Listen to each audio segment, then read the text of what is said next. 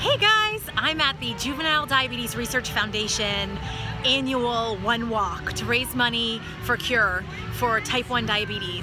Super excited to be here. Hopefully I'll get to see uh, a lot of you today. And as we talk about it, it's really important to feel like you're part of the bigger cause and know that there are people around you that are fighting the same fight and also working really hard to make sure that future generations don't have to deal with diabetes. So we have 500 walkers today and are going to raise hundreds of thousands of dollars to try to have a cure. And you know, a cure for type 1 will have a huge impact on the treatment and a cure for type 2 diabetes as well. So please get on board and support us and find a local walk. I'm here in Richmond, Virginia, but find a local walk that you can participate in in your community. Have a great day. Bye, guys.